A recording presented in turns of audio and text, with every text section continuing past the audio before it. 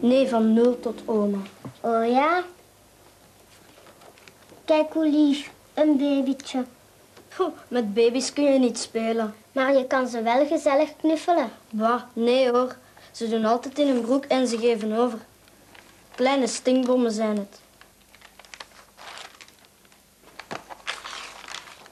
Kijk, oma in de kleuterklas.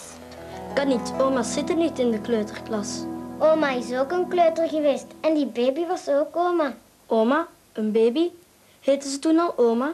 Nee, toen had ze nog een naam. Waarom heeft ze dan nu geen naam meer? Dat weet ik niet. Vraag het haar zelf maar eens. Een trouw, zo rare die kerel. Dat is opa hoor. Onze opa? Opa en oma, die zijn ook getrouwd. En hier jij. Waar? Laat zien. Jij kijkt toch niet meer mee? Jawel, ik en jij, papa mama, opa en oma zoals ze nu is. Oh, kom aan, Hilaire, het is tijd. Maar maak je verder klaar. Wat? Tijd. Hoor je wat een gekke naam opa heeft? Hilaire. Nee, Hilaire. En oma's naam is zo moeilijk dat ik hem bijna niet kan uitspreken. Ger, Ger, Germaine of zoiets. Oma's en opa's hebben dikwijls heel rare namen. Het zijn oude namen van vroeger. Opa en oma gaan niet meer uit werken, zoals mama en papa. Vroeger wel hoor. Opa was bankbediende en oma telefoniste. Maar als je jaren gewerkt hebt, mag je rond je 60 jaar ophouden. Op pensioen gaan noemt men dat. Bloemen kopen ook. Ja, voor mij naar de kliniek te nemen. Oh ja. Dat zal ik Zeg. wel. Eh goeiedag. Wat zal het zijn voor vandaag? Wel, twee bakjes aardbeien, één doosje kersen en een kokosnoot graag.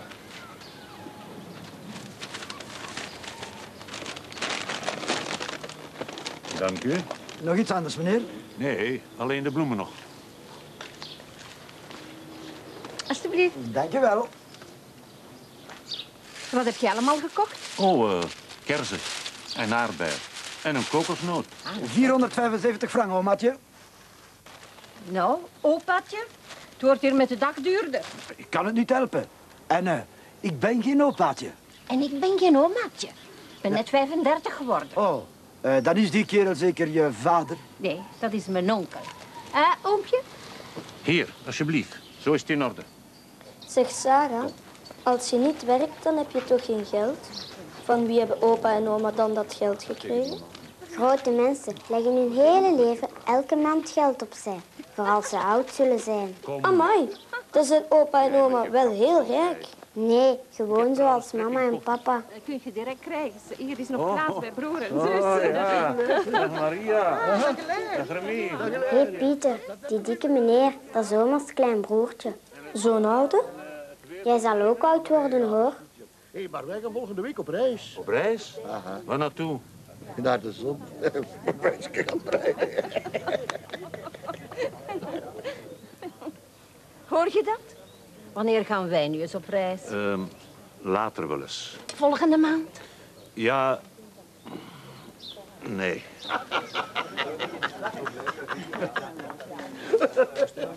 Oh ja, nog, nog prikken. Die zitten te vrijen. Zouden opa en oma ook vrijen? Ik weet het niet. Noemt men dikke oma's bommas omdat ze zo dik zijn? Nee, gewoon een ander woordje voor oma. Opa, oma. Bompa, bomma. B, bobon. Pepe vind ik leuk. Peetje en mietje. Pipé en memé. Er bestaan tientallen lieve woorden die net hetzelfde betekenen als oma en opa. Nog een dikke, een bompa.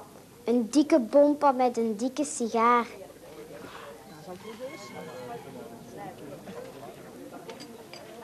Dat is de oma van mijn vriendinnetje.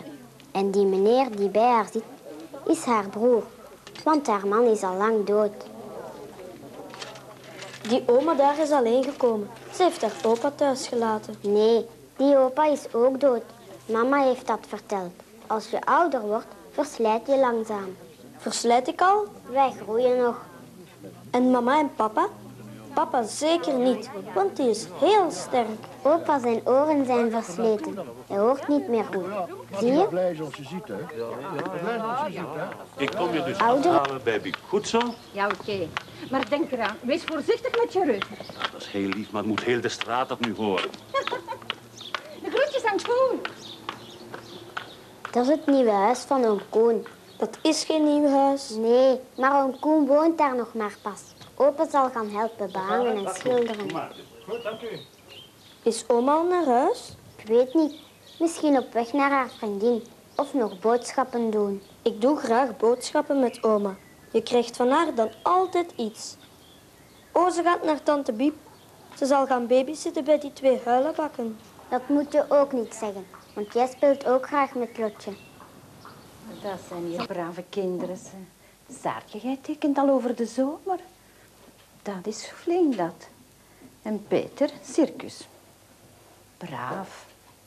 Heel braaf. En als opa in slaap gevallen is in de zetel, dan moeten we zelfs stil spreken. Waarom kan opa niet in een bed gaan slapen als hij moe is? Dat moeten wij ook doen. Opa's mogen altijd veel. Ik wou dat ik al eens opa was. Dan zou ik ook alles mogen. Dan zou je al oud zijn hoor. Geeft niks. Daar kun je aan sterven hoor. Opa en oma ook? Nog niet.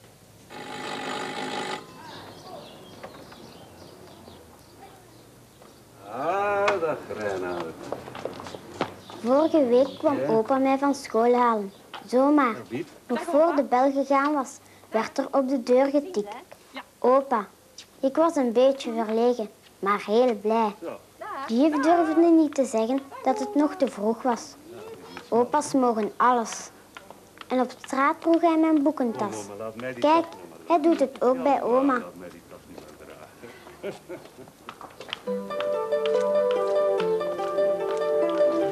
Opa zegt dat zij nog niet oud is. Ik vroeg eens aan oma of ze al een oud vrouwtje was. O hemeltje, nee, zei ze toen. Ik ben nog jong. Maar dat is natuurlijk niet waar. Mama en papa zijn nog jong, maar opa en oma niet meer. Weet je, toen ik in de kleuterklas zat bij juffrouw Mieke, toen dacht ik, nu ben ik klein en papa is groot. Dat is natuurlijk niet waar. Als ik mama ben, zal mama oma zijn. En oma misschien al dood. Maar dat duurt nog heel lang. Wij zijn nog niet zo groot als mama en papa. En oma en opa zijn ook nog niet echt oud.